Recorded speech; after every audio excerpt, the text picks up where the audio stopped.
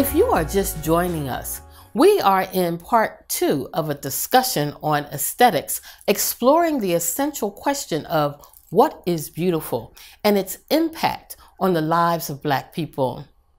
When the news of a Black charter school deemed the styles of our natural hair unacceptable, the public outrage was immediate, firing up social media and bringing righteous indignation to the school's board. Seemingly within hours, the hair controversy was resolved and the policy rescinded. According to the local newspaper, and I quote, an Oklahoma charter school board has rescinded a controversial no dreadlocks policy that also apply to other faddish styles of hair.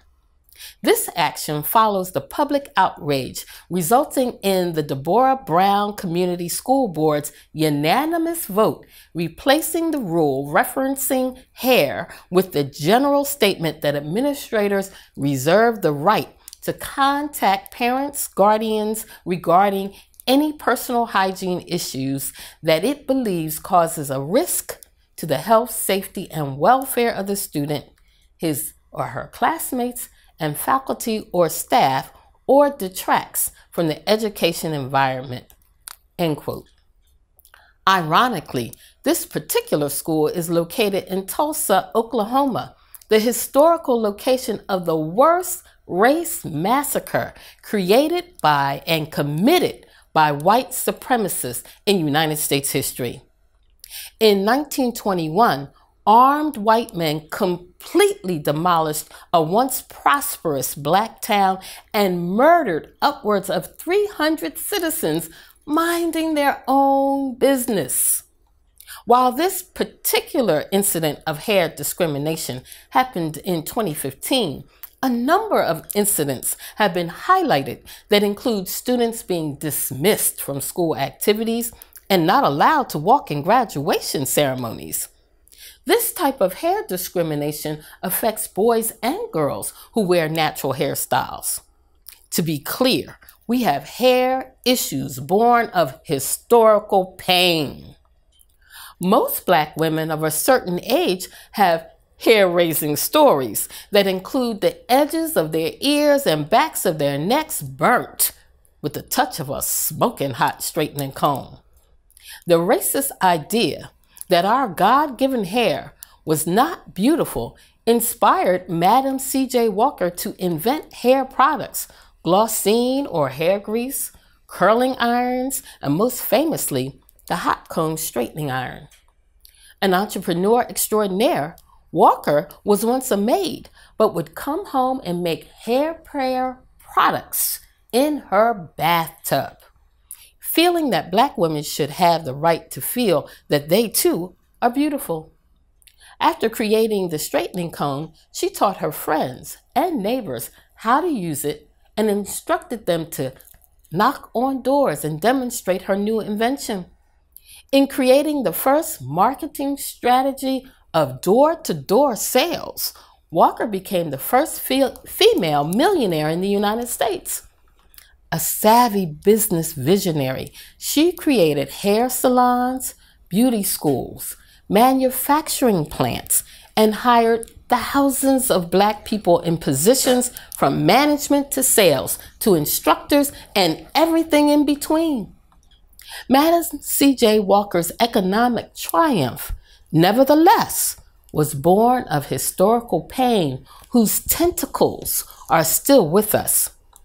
Take the case of Laura Odifin, a college graduate. In November 2015, she had a job offer rescinded due to her braids.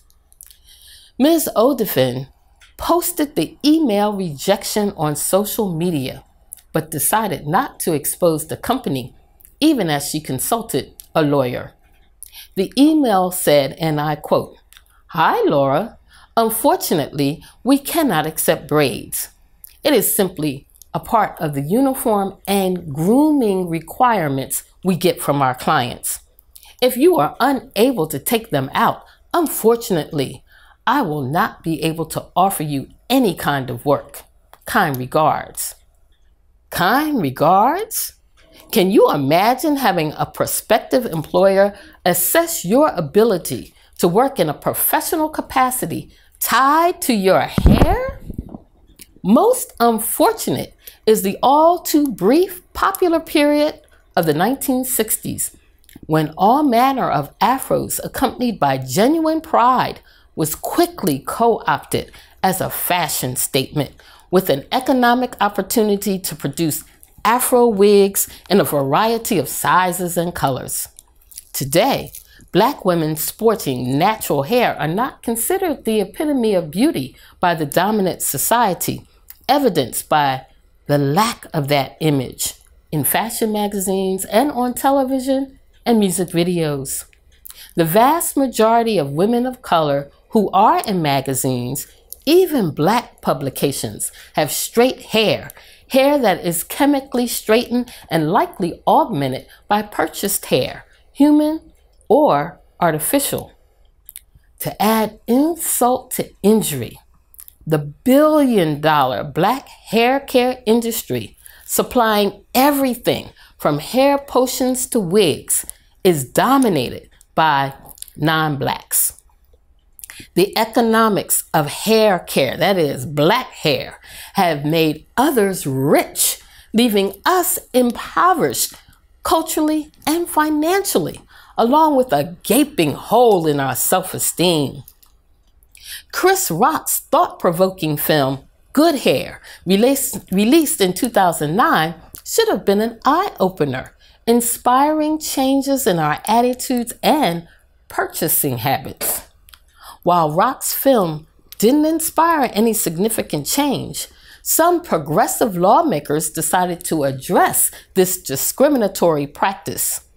In the United States, legislators introduced the Crown Act in Congress in 2019. CROWN stands for Create a Respectful and Open World for Natural Hair. The law is designed to protect Black people against bias based on hair texture and cultural hairstyles such as cornrows, twists, locks, braids, bantu knots, and afros.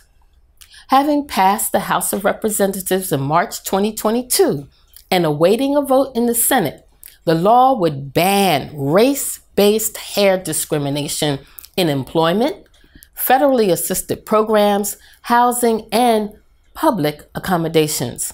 Meanwhile, 18 state legislatures have passed laws inspired by the Crown Act and includes California, New York, Colorado, Washington State, Connecticut, and Tennessee, along with 42 U.S. cities.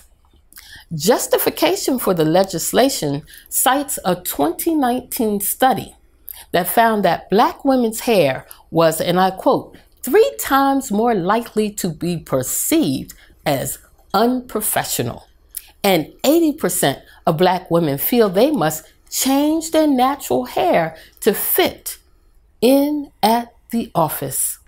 Some of you know what I'm talking about. In England, a similar movement has been initiated by members of parliament who have asked the Equality and Human Rights Commission to add black textured hair to the list of protected characteristics to the country's Equality Act. The UK Equality Act protects various ethnic characteristics that are God given and should not be a cause for discrimination. A UK study revealed that 93% of black people with African textured hair experienced microaggressions, including uninvited hair touching. Imagine that. Like in the US, black British school children and adults in the workplace have been discriminated against because of their hair, but the issue is global. In 2021, a black British swimming cap company, Soul Caps, had their Olympic Games application to supply swimming caps to black athletes in Tokyo rejected by the International Swimming Federation. The rejection letter stated the caps, and I quote, didn't fit the natural form of the head. End quote. The question is whose head? Mercy. While the discussion of hair, length, texture, and color has been part of the overall package of aesthetics, African characteristics in hair, as well as shade of skin color, have been the source of well documented employment discrimination, disparities in income for the same position, and the lack of promotion, as well as incarceration statistics. But I digress. Eurocentric standards of beauty have long excluded people with tightly curled hair and ebony skin, ruining the self image of many black children. It is well documented that the development of self awareness and self image begins at a very early age. Colorism, or a negative color consciousness, gives birth to self doubt, a sense of inferiority, and diminished self esteem. Again, Dr. Woodson succinctly described how anti black educational systems miseducate our people in a process that ultimately teaches blacks to despise themselves and simultaneously embrace manifestations of whiteness. Woodson pulls no punches. He says, we spend millions yearly to straighten our hair and bleach our skins. And some of us go so far as to have our noses lifted in hopes of looking like the white man.